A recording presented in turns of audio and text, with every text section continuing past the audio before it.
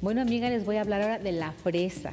La fresa que es una fruta deliciosa que la podemos usar en muchas formas, en pasteles, en flanes, en licuados, solita, en fin, y tiene muchas propiedades, aparte de deliciosa, contiene hierro, calcio, ácido fólico, ayuda mucho para la inflamación, también la artritis, también la debemos consumir porque nos ayuda mucho al estreñimiento, al antiinflamatorio. Además también te ayuda mucho al colesterol de la sangre. Todo eso nos ayuda a la fresa. Así es que yo te recomiendo consumas bastante fruta que es muy buena para el organismo y además deliciosa. Bueno, eso es un consejo de Laura para tardes de café.